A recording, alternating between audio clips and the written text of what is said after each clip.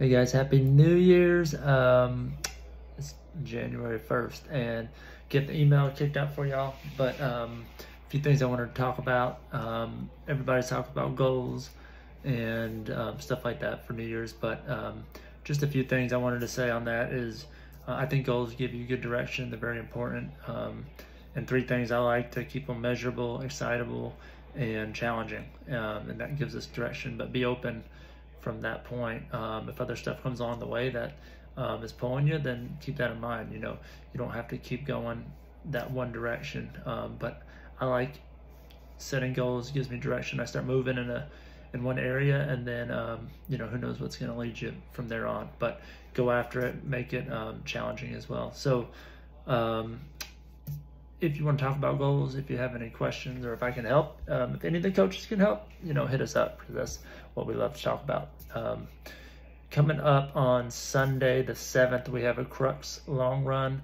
So that's from the Crux uh, climbing gym down south. And Alyssa, um, the PT, is going to be there. So she's going to be offering just um, injury evaluations and some. Um, she's going to have, I think, she's going to talk about, I think it might be uh, plantar fasciitis or something like that. So um, check the app for more details, but um, I'd love to have you. Um, we'll have breakfast after at the, um, there's a couple taco places and coffee places. So um, that's another thing we're going to try to do, just continue on the Sunday long runs. And like we do on the Saturdays, have a place that we can start from that is easy to get breakfast afterwards because that's where we find you know, we all get to connect a little bit more um, when we have time to sit down and chat over some food. So, um, that being said, too, um, I had a meeting with the pack leaders this last month, and we're going to put the packs on pause for right now.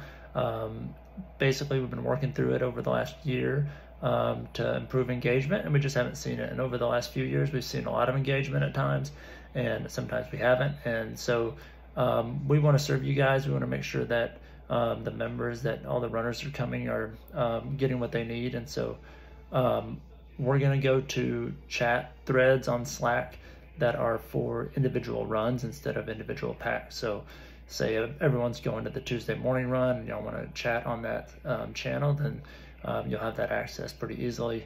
Um, and our hope is that that just continues to build relationships, helps you guys connect at the runs because that's where we got to make sure we're connecting first um, to build the relationships uh, deeper so that y'all are connecting outside of the runs as well. So, um, look for a few changes there. If you have any issues or concerns, reach out to me or any of the other coaches.